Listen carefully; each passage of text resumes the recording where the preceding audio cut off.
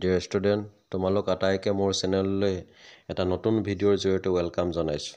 ইয়াত মই তোমালোকলৈ আগবঢ়াইছোঁ সদ্য সমাপ্ত ধেমাজি জিলাৰ ক্লাছ নাইনৰ annual examination two thousand twenty ফ'ৰৰ general ছায়েন্সৰ এখন কুৱেশ্যন পেপাৰ। ইয়াত মই বেচিকেলি ফৰ্টি ফাইভটা এম চি কিউ তোমালোকৰ লগত শ্বেয়াৰ কৰিম। আৰু তোমালোক যদি মোৰ চেনেলটো নতুন হয় তেতিয়াহ'লে চেনেলটো ছাবস্ক্ৰাইব কৰিবলৈ নাপাহৰিবা। তো আহা আমি সময় নষ্ট নকৰি কুৱেশ্যন পেপাৰখন ডিছকাছ কৰোঁ।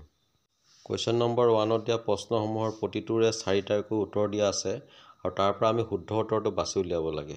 এক নম্বৰটো দিছে পদাৰ্থৰ অৱস্থানৰ সেই পদাৰ্থবোৰৰ মাজত থকা ব্যৱধানৰ অৰ্ধকমত সজোৱা। আমি জানো যে গেছীয় পদাৰ্থৰ অণুবোৰৰ মাজত ব্যৱধান আটাইতকৈ বেছি তাৰপিছত জুলীয় পদাৰ্থ আৰু গোটা পদাৰ্থৰ অণুবোৰৰ মাজত ব্যৱধান একেবাৰে কম।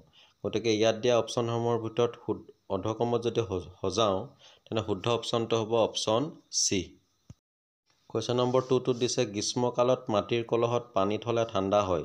ইয়াৰ কাৰণটো হ'ল অপশ্যন এ ব্যাপন বি পৰিবহণ চি আশ্ৰিতি ডি বাষ্পীভৱন।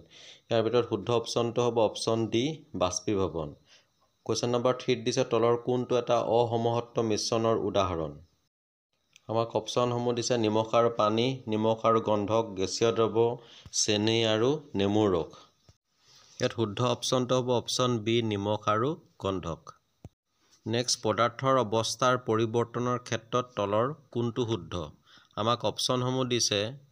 ইয়াত দিয়া চাৰিটা অপশ্যনৰ ভিতৰত আমি ভালকৈ চালে দেখা পাম যে অপশ্যন চি যিটো তৰল অৱস্থা যদি আমি চেঁচা কৰোঁ তেতিয়াহ'লে গোটা অৱস্থা প্ৰাপ্ত হয়। যেনেকৈ পানীয়ে যদি আমি চেঁচা কৰোঁ তেতিয়াহ'লে সেইটো বৰফলৈ পৰিণত হয়। গতিকে শুদ্ধ অপশ্যনটো হ'ব অপশ্যন চি।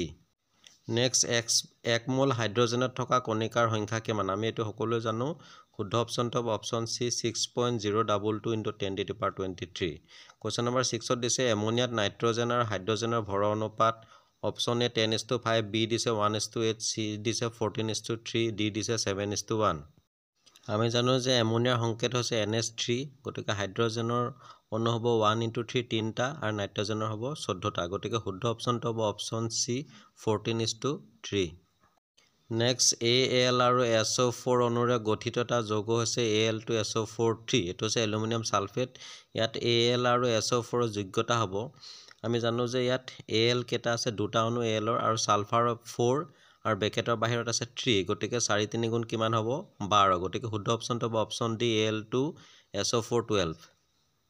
Next দিছে কাৰ্বন ডাই অক্সাইড প্ৰস্তুত হওঁতে চৌব্বিছ গ্ৰাম কাৰ্বনৰ সৈতে সম্পূৰ্ণকৈ বিক্ৰিয়া কৰিবলৈ প্ৰয়োজন হোৱা অক্সিজেনৰ ভৰ option A eight gram B sixteen gram C দিছে টুৱেণ্টি ফ'ৰ গ্ৰাম আৰু ডি দিছে থাৰ্টি টু গ্ৰাম। ইয়াত শুদ্ধ অপশ্যনটো হ'ব option D thirty two gram. Next এটা কক্ষপথত সৰ্বোচ্চ সংখ্যক ইলেক্ট্ৰন থাকিব পৰা সূত্ৰটো হৈছে এইটো তোমালোকে জানা। ইয়াৰ শুদ্ধ অপশ্যনটো হ'ব option C twice N square next দিছে কৰ্কট ৰোগৰ চিকিৎসাত ব্যৱহাৰ কৰা সমস্থানিকটো কোনটো মৌলৰ? আমাক অপশ্যনসমূহ দিছে hydrogen B cobalt C uranium D iodine.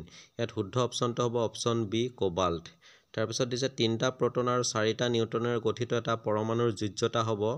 এইটো তোমালোকৰ শুদ্ধ অপশ্যনটো হ'ব অপশ্যন চি ওৱান। ধৰি লোৱা মৌলটো লিথিয়াম। নেক্সট দিছে ইয়াত এটা কোষৰ ছবি অংকন কৰিছে আৰু তাৰ ভিতৰত চাৰিটা কোষাংগাণু আছে। প্ৰত্যেকৰে ক্ৰমিক সংখ্যা দিয়া আছে। এক নম্বৰ দিয়া আছে গলগী সংঘ দুই নম্বৰ দিয়া আছে কোষকেন্দ্ৰ তিনি নম্বৰ দিয়া আছে মাইট্ৰকণ্ড্ৰিয়া আৰু চাৰি নম্বৰ দিয়া হৈছে ৰসধানী গতিকে ইয়াৰ ক্ৰমিক সংখ্যাৰ শুদ্ধ ক্ৰমটো হ'ব অপশ্যন চি গলগী সংঘ কোষকেন্দ্ৰ মাইট্ৰকণ্ড্ৰিয়া আৰু মাইট্ৰকণ্ড্ৰিয়া ৰসধানী নেক্সট উদ্ভিদ কোষৰ কোষবহীখন গঠন কৰা পদাৰ্থটো হৈছে option A glucose B fructose C protein D cellulose. ইয়াত শুদ্ধ অপশ্যনটো হ'ব option D cellulose. Question number ফিফটিনত দিছে যদি এ ইজুকেলটো প্ৰাণী ৰাজ্য বি ইজুকেলটো মেৰুদণ্ডী প্ৰাণী চি অমেৰুদণ্ডী প্ৰাণী ডি স্তন্যপায়ী প্ৰাণী আৰু ই হৈছে মানুহ। তেন্তে জীৱৰ শ্ৰেণীবিভাজনৰ এই ক্ৰমটো তলৰ কোনটো চিত্ৰই বুজাব? আমি অপশ্যনসমূহ ভালকৈ লক্ষ্য কৰিলে দেখা পাওঁ যে ইয়াৰ শুদ্ধ অপশ্যনটো হ'ব অপশ্যন ডি ইয়াৰ পিছত দিছে যে সালোক সংশ্লেষণ কৰিব পৰা সংকোষ কেন্দ্ৰীয় কোষেৰে গঠিত এককোষী জীৱবোৰ অন্তৰ্ভুক্ত কৰা ৰাজ্যখন হ'ল অপশ্যন এ উদ্ভিদ ৰাজ্য বি মনে ৰাজ্য চি প্ৰতিষ্ঠা ৰাজ্য ডি ভেকু ৰাজ্য। ইয়াৰ শুদ্ধ অপশ্যনটো হ'ব অপশ্যন চি প্ৰতিষ্ঠা ৰাজ্য। নেক্সট দিছে যে যিবিলাক উদ্ভিদক শিপা কাণ্ড আৰু পাতত পৃথক কৰিব নোৱাৰি এনেবোৰ উদ্ভিদক কি বোলে? অপশ্যন এ মজবৰ্গ বি সমাংগদেহী চি ঢেকীয়াবৰ্গ ডি ভেঁকুৰ। ইয়াৰ শুদ্ধ অপশ্যনটো হ'ব অপশ্যন বি সমাংগদেহী ইয়াৰ পাছত দিছে সকলোবোৰ উষ্ণৰক্তি জীৱৰ ক্ষেত্ৰত তলৰ কোনটো সত্য? অপশ্যন এ ইহঁতে অমেৰুদণ্ডী বি ইহঁতে কণী পাৰে চি ইহঁতৰ জলক্লোম থাকে ডি ইহঁতৰ হৃদযন্ত্ৰ চাৰিটা কোঠালিযুক্ত ইয়াৰ শুদ্ধ অপশ্যনটো হ'ব অপশ্যন ডি ইহঁতৰ হৃদযন্ত্ৰ চাৰিটা কোঠালিযুক্ত কুৱেশ্যন নম্বৰ নাইনটিনত দিছে এটা কণাই আৰ ব্যাসাৰ্ধৰ বৃত্তীয় পথত ঘূৰি আছে। কণাটোৱে অৰ্ধবৃত্ত সম্পূৰ্ণ কৰাৰ পাছত কণাটোৰ হৰণ অপশ্যন এ শূন্য B pi R C twice R D twice pi R. ইয়াৰ শুদ্ধ অপশ্যনটো হ'ব option C twice R. Next A B C D চাৰিখন গাড়ীয়ে নিৰ্দিষ্ট পথেৰে গৈ আছে। সিহঁতৰ দূৰত্ব সাপেক্ষে সময়ৰ লেখচিত্ৰ দেখুওৱা হৈছে। তেন্তে শুদ্ধ উত্তৰটো বাছি উলিয়াব লাগে। আমাক ইয়াত নিৰ্দিষ্ট দূৰত্ব অতিক্ৰম কৰোঁতে বাছকেইখনক প্ৰয়োজন হোৱা সময়ৰ এটা গ্ৰাফ আঁকি দেখাইছে। আৰু ইয়াত দিয়া অপশ্যনসমূহৰ ভিতৰত আমি ভালদৰে লক্ষ্য কৰিলে দেখা পাম যে শুদ্ধ অপশ্যনটো হ'ব অপশ্যন ডি ডি চি গাড়ীখন আটাইতকৈ কম বেগী। নেক্সট দিছে তলত দিয়া কোনটো চিত্ৰই গতিশীল বস্তু এটাৰ সুষম গতিক প্ৰতিনিধিত্ব কৰা বুজাব। আমি জানো যে সুষম গতি বুলি ক'লে কোনো এটা বস্তুৱে সমান সময়ত সমান সমান দূৰত্ব অতিক্ৰম কৰাক বুজায়। গতিকে অপশ্যনসমূহৰ ভিতৰতে শুদ্ধ অপশ্যনটো হ'ব অপশ্যন এ। নেক্সট দিছে শুদ্ধ বিকল্পৰে খালী ঠাই পূৰ কৰা। ডেছ হৈছে জড়তাৰ জোখ অপশ্যন এ ওজন বি ভৰ চি বেগ ডি মাধ্যাকৰ্ষণিক ত্বৰণ। ইয়াত শুদ্ধ অপশ্যনটো হ'ব অপশ্যন বি ভৰ। ভৰ হৈছে জড়তাৰ জোখ ইয়াৰ পাছত দিছে সংঘাতত দুটা বস্তুৰ মুঠ ডেছ অপৰিৱৰ্তিত থাকে। অপশ্যন এ ভৰ বি বেগ চি ভৰ বেগ ডি ওজন। ইয়াত শুদ্ধ অপশ্যনটো হ'ব অপশ্যন চি ভৰ বেগ।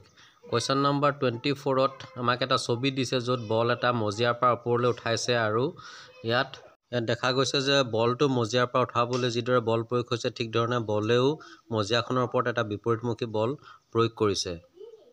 প্ৰশ্নটো দিছে যে ছবিটোৱে গতি বিষয়ক কোনটো সূত্ৰৰ কথা প্ৰমাণ কৰে? এইটো হৈছে গতিৰ তৃতীয় সূত্ৰ যি যে প্ৰত্যেক ক্ৰিয়াৰ এটা সমান আৰু বিপৰীতমুখী প্ৰতিক্ৰিয়া থাকে গতিকে শুদ্ধ অপশ্যনটো হ'ব option B.